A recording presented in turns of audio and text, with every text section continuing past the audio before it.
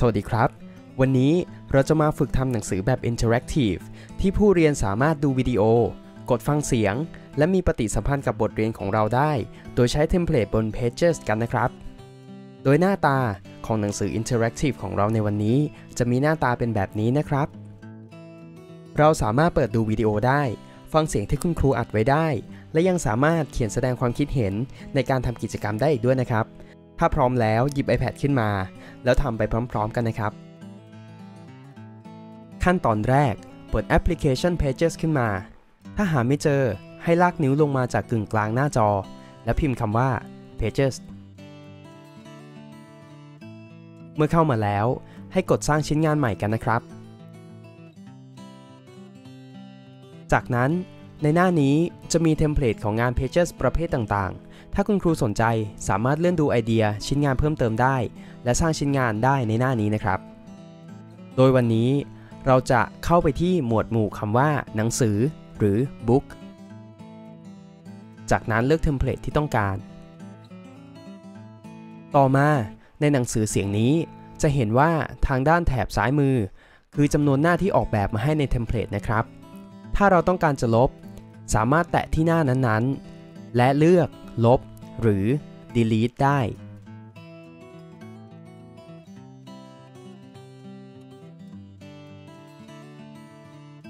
ถ้าต้องการเพิ่มหน้าต่างๆ สามารถเพิ่มได้ที่ปุ่ม add page จะเห็นว่ามีเทมเพลตที่สร้างไว้ให้แล้ว เราสามารถเลือกใช้งานได้เลยนะครับ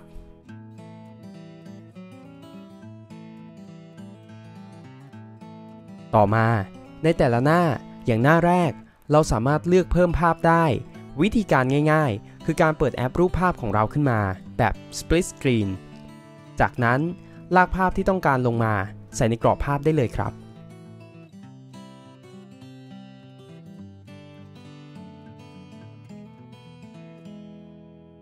ในหน้าต่อมาเราก็จะเปลี่ยนรูป จากนั้นก็ใส่ข้อความเนื้อหาบทเรียนที่เราเตรียมไว้ ถ้าข้อความมันยาวเกินไป เราอาจจะช่วยนักเรียนที่ไม่ถนัดจะอ่านข้อความยาวๆ โดยสามารถบันทึกเป็นเสียงของเราใส่เข้าไป เพื่อให้นักเรียนเลือกฟังจากเสียงก็ได้นะครับ วิธีการเพิ่มเสียงคือ กดที่ปุ่มบวก จากนั้นเลือกแถบรูปภาพ เลือกเพิ่มเสียงหรือ Audio จากนั้นเริ่มบันทึกเสียง เมื่อเสร็จเรียบร้อยแล้ว เราสามารถลากสัญลักษณ์รูปเสียงนี้ มาวางที่ตำแหน่งที่ต้องการ และชี้ให้นักเรียนเห็นว่า เราสามารถกดฟังตรงนี้ก็ได้นะครับ ในหน้าถัดมา เราจะทำแบบฝึกหัดให้นักเรียนเขียน โดยเราสามารถเพิ่มกรอบขึ้นมา โดยการกดที่ปุ่มบวก จากนั้นเลือกเชฟและก็ตกแต่งเพิ่มเติม โดยอาจจะใส่ข้อความที่เป็นคำสั่งลงไปก็ได้นะครับ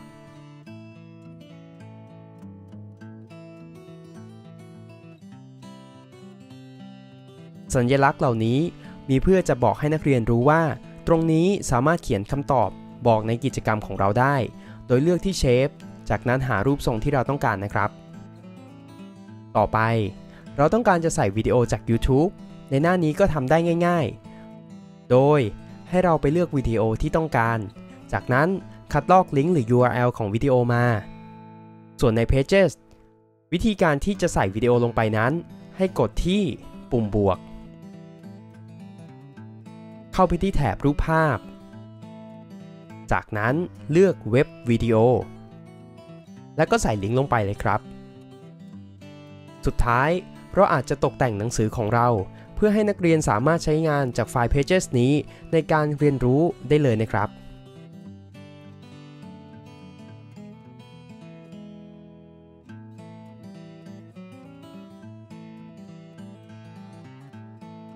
เป็นอย่างไรกันบ้างครับ คุณครูอาจไปค้นหาเพิ่มเติมเกี่ยวกับเทมเพลตต่างๆ ที่มีให้เลือกใน Pages กันได้นะครับ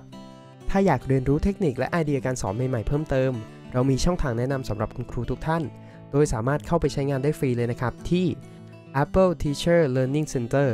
โดยสามารถสแกน QR Code ตรงนี้ หรือจะคลิกที่ช่อง description ของลิงก์วิดีโอนี้ก็ได้นะครับ